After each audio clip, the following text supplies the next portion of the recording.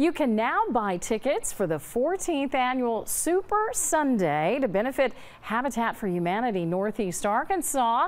Tickets can be purchased online for $15 until October 27th. After that date, they will be $20 online and at the door. The event will be from 11 a.m. to 1.30 p.m.